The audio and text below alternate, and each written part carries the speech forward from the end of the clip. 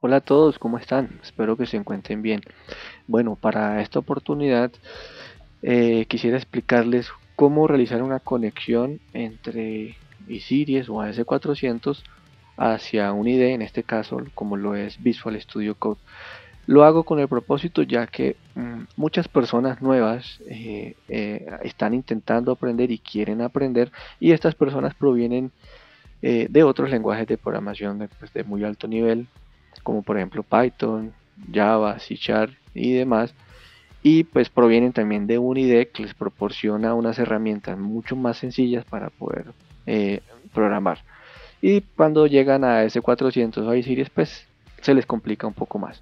Entonces pues la idea es que eh, ya previamente debemos tener instalado Visual Studio Code y si estás en este video es porque efectivamente ya sabes cómo usar Visual Studio Code es que identifiquemos cuáles son esos plugins que debemos instalar, cómo debemos realizar la configuración y a partir de esos plugins ya eh, empezamos a manejar todos nuestros objetos y miembros. Entonces, pues sin más, empecemos. Algo importante que debemos tener en cuenta es, antes de comenzar a instalar pues, plugins y ver el entorno de desarrollo de Visual Studio, debemos verificar que dentro de nuestra máquina de AS400 ya sea la de pruebas que estamos haciendo aquí en este momento o ya en sus trabajos, debemos verificar que el puerto de conexión eh, esté abierto. En este caso es el puerto, el puerto 22 o 2222 por protocolo SSH. Este es el puerto de escucha por el cual Visual Studio y AS400 tendrán conexión. Entonces para esto vamos a digitar en nuestra línea de comandos netstat y vamos a digitar la opción 3 para verificar todas las conexiones. Y aquí vamos a buscar dentro de los puertos locales vamos a buscar el puerto SSH como vemos este puerto está en escucha actualmente entonces está abierto. Con esto ya verificado entonces ahí sí podemos proceder a realizar la configuración de los plugins ya estando aquí dentro de nuestro entorno de desarrollo de Visual Studio eh, vámonos aquí a la parte de extensiones y vamos a digitar code for IBMI entonces code for IBMI. Este plugin nos va a dar como eh, en términos de configuración la conexión hacia nuestra máquina de AS400 también nos va a brindar como todo el entorno eh, de desarrollo. Entonces vamos a darle instalar. Ya listo ya quedó instalado. Nuestro segundo plugin básicamente después de instalar el code for IBMI que es el que nos va a servir para la conexión eh, automáticamente nos estará instalando este segundo, el Wolfrux, que básicamente es para eh, tener los tutoriales y todas las ayudas necesarias para la codificación. Entonces, si no se, instala automáticamente, van y lo buscan manualmente y le dan instalar. Bueno, nuestro tercer plugin vamos a digitar IBMI y de acá vamos a seleccionar varios plugins. Este tercer plugin va a ser IBM iDebug. ¿Listo? En este básicamente vamos a tener acceso a todas las opciones del debug y reporte de errores. Entonces le vamos a dar instalar.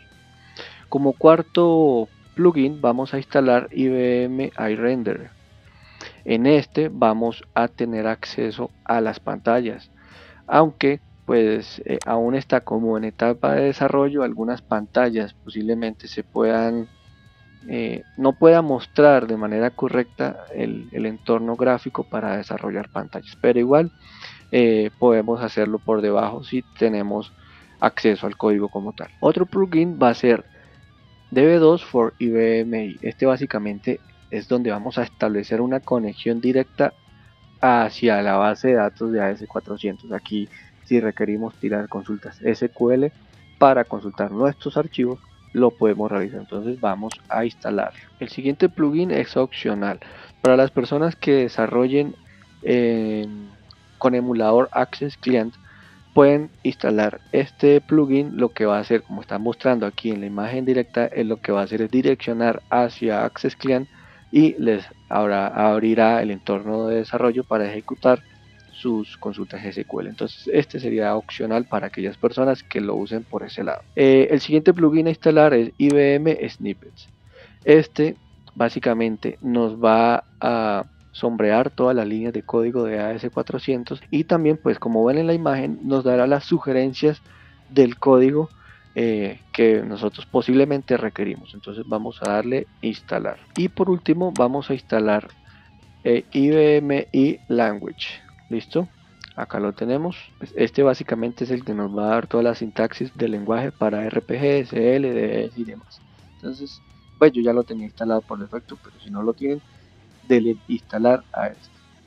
Con esto ya tendríamos instalado todos los plugins necesarios. Para realizar nuestra conexión hacia la máquina de AS400, vemos que en la parte izquierda inferior se nos habilitó esta nueva opción IBMI. Vamos a darle ahí y vamos a darle conectar aquí en este botoncito. Entonces lo primero que vamos a ingresar es nuestro nombre de conexión. Aquí yo voy a poner como yo voy a, hacer una conexión hacia esta máquina de pruebas PUB 400, voy a poner este nombre. En host o IP vamos a poner el host al cual nosotros estamos realizando la conexión. En este caso es el mismo host con el cual ustedes configuraron la conexión en su emulador de, de AS400. En este caso es PUB 400. Si con, esta, con, si con este host no nos funciona, podemos digitar o hacer lo siguiente por CMD para averiguar cuál es la IP. Abrimos nuestro CMD y vamos a digitar ns lookup. Después de ns lookup vamos a digitar pues el nombre del hostname, en este caso pub400.com. Y vemos que acá se nos va a mostrar la IP pues la cual está referenciada ese hostname. Eh, si no nos sirve con el hostname esta sería la IP con la cual vamos a hacer la conexión. En este caso yo voy a hacerlo con eh, el hostname. El puerto de enlace en este caso es el 22. Eh, para este servidor que es público está configurado el 2222. Nombre de usuario pues viene siendo nuestro nombre de usuario el cual estamos accediendo a, la máquina de AC400. Entonces aquí tenemos nombre de usuario y el password con el cual nos, nos logueamos y le damos guardar al password digitado. Ya con esto configurado, le vamos a dar conectar. Vemos que aquí ya se está realizando la conexión. Antes de revisar cuáles son las librerías que se nos cargaron acá, vamos a realizar unas configuraciones previas. Estas configuraciones son de una única vez. Vemos que acá se nos habilitó o se nos abrió una nueva pantallita. Vamos a darle aquí en Open Configuration. Listo. Aquí vamos a realizar las siguientes configuraciones. Vamos a dirigirnos aquí a Temporary Data y vamos a configurar una librería temporal. Acá nos dice que eh, no podemos usar Qtem, Es del sistema de, de AS400, entonces vamos a dejar como librería temporal una de nuestras librerías personales que usemos. En este caso voy a poner DSADG 1 o 2, cualquiera de las dos. En este caso voy a utilizar la 2. Acá vamos a habilitar que una vez cerremos sesión mm, podamos borrar eh, lo que se haya generado en esta librería. Entonces vamos a habilitar. Dentro de las opciones que tenemos en Feature, aquí vamos a habilitar eh, esta opción y esta última opción que es cuando nosotros eh, vamos realizando cambios en nuestra fuente, el fuente inmediatamente va haciendo como acciones de autoguardado. Entonces vamos a habilitarlo. Con esto ya hemos terminado, damos guardar a nuestros cambios y vemos que ya tenemos una conexión establecida. Si a alguno de ustedes les sale que debe reiniciar el plugin, en la parte izquierda, en la parte derecha, perdón, inferior, les va a salir un recuadrito que les solicite que va desea, van a reiniciar el, el plugin. En ese caso les dan que reinicien y vuelven a conectar. En esta parte vamos a tener acceso a las librerías de entorno de desarrollo. Por defecto, como nuestro usuario tiene predeterminado por default que cargue estas librerías, pues esta nos va a cargar. Si vamos a adicionar una más, pues le damos acá en el más y acá vamos a cargar nuestras librerías que nosotros eh, necesitemos. En este caso vemos que ya cargué una segunda librería. Ahora, para tener acceso a nuestras fuentes aquí en Object Browser vamos a agregar un nuevo filtro, le damos acá agregar filtro, vamos a ponerle un nombre, cualquier nombre, vamos a poner fuentes, le vamos a indicar cuál va a ser nuestra librería desde donde vamos a acceder, en este caso voy a poner que esta es mi librería de SADG donde yo tengo todas mis fuentes, En objetos vamos a indicarle que pues en mi caso que me muestre todos los objetos. Eh, el tipo de filtro hacia el qué tipo de objetos vamos a filtrar. En este caso yo voy a dejarlo así para que me muestre solo las carpetas para acceder a los, al, origen de las fuentes y lo dejamos así. Ya las opciones de abajo es si queremos realizar un filtro más exhaustivo o queremos organizar, podemos crear varios filtros del mismo tipo y solo si en un filtro solo deseamos mostrar fuentes tipo RPG, en el otro podemos mostrar fuentes solo archivos, PFs o solo CLs, podemos realizarlo con estos filtros de acá. Por, de momento yo solo lo voy a hacer así, voy a darle guardar y vamos a expandir en esta opción. Vemos que aquí ya está realizando el cargue. Y si nos damos cuenta eh, podemos comparar, voy a hacia mi máquina, de AC400, voy a ponerla por aquí debajo y vamos a acceder a mi librería. Perdón, perdón que ya estaba aquí dentro, voy a acceder a mi librería, voy a hacer el mismo filtro para evidenciar que efectivamente eso es lo que me está mostrando.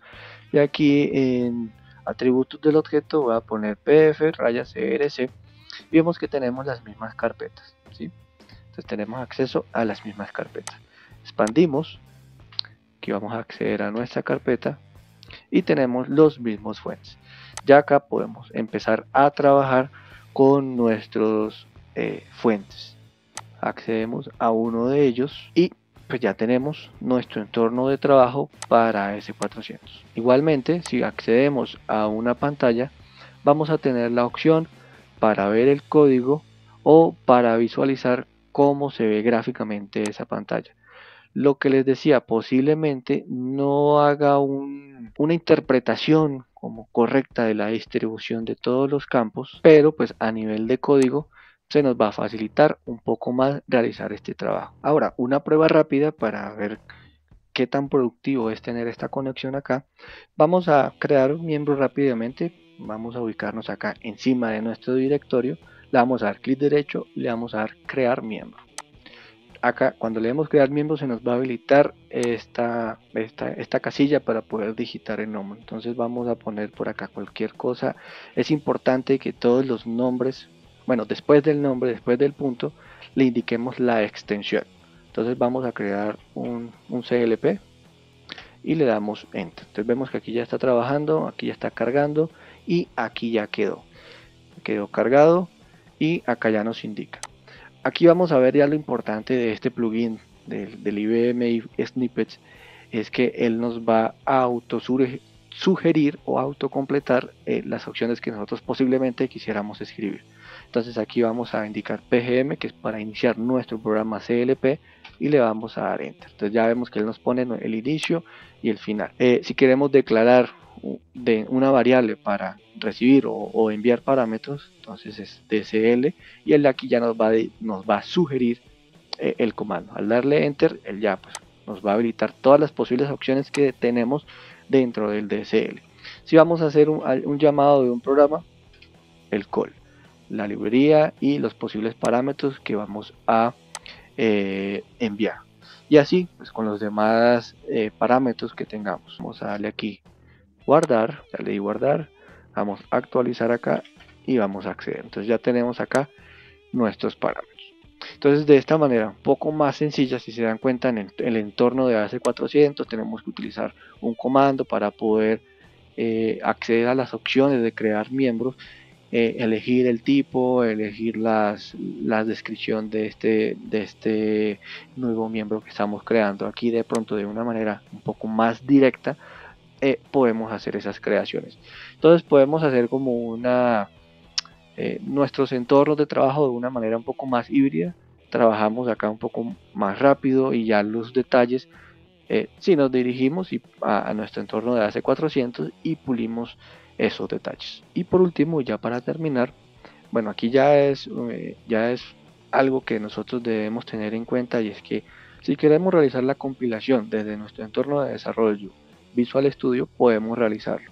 Como les dije, podemos usar estos dos entornos como una manera un poco más híbrida, trabajar acá, codificar acá y realizar las compilaciones y pruebas en nuestra máquina de 400. ¿Podemos también hacer la compilación acá? Claro que sí. Eh, tenemos la tecla control E y acá pues, previamente como todos sabemos cada objeto dentro de la máquina o el, o el entorno de desarrollo de AS400, cada objeto tiene como una leve variación de cuál es el comando para realizar la compilación. Entonces en este caso para realizar la compilación de un objeto CLP pues viene siendo el CRT CLP, crear programa tipo CLP. Le damos a dar enter y de una vez aquí él nos sugiere cuál es el comando, si nos rellena de qué librería, cuál es el objeto, cuál es el archivo fuente, ya sea en miembro, eh, va a realizar la compilación. Damos enter inmediatamente y vemos que aquí ya también nos va a botar el spool para poder realizar la revisión de cuáles fueron los errores o si realmente compiló correctamente. Creo que esto ya sería todo por, parte de este video, espero que les haya gustado. Eh, ya quedaría por parte de ustedes indagar un poco más. Si ven que eh, es práctico desarrollar en estos lenguajes de programación, déjenmelo ahí, muéstrenme sus experiencias, qué tal les ha parecido. Espero que les haya gustado, compártanlo, dejen su like y nos vemos en un siguiente video. Chao, chao.